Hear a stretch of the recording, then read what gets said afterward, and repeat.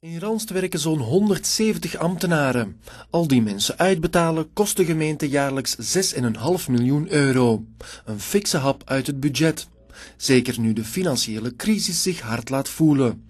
Toch wil de gemeente niemand ontslaan. Mensen afdanken, dat uh, hebben wij nog niet in overweging genomen en gaan wij dus ook niet doen.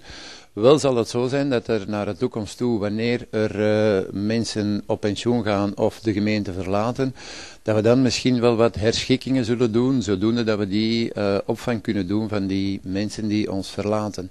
In Boeghout ongeveer hetzelfde verhaal, al valt er hier wel een ontslag. De duurzaamheidscoördinator die nu aan het werk is, zal eind dit jaar zijn job verliezen.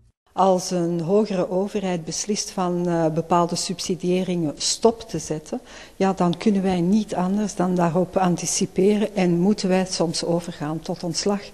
En in ons geval gaat dat over één functie die zou wegvallen in de loop der jaren.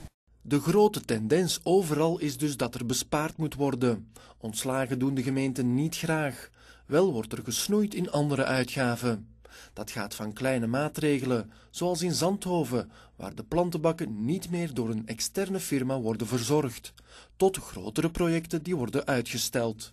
In die zin dat wij naar bepaalde projecten ofwel over verschillende jaren zullen spreiden, ofwel uh, ja, eventjes uitstellen, zodoende dat we dan weer toch terug wat meer ruimte hebben om te investeren. De stad Antwerpen hoopt alle personeelsleden aan het werk te kunnen houden. Wie met pensioen gaat, zal, net als in de gemeentes, minder snel worden vervangen. In de toekomst zouden ambtenaren bovendien flexibeler moeten worden ingezet.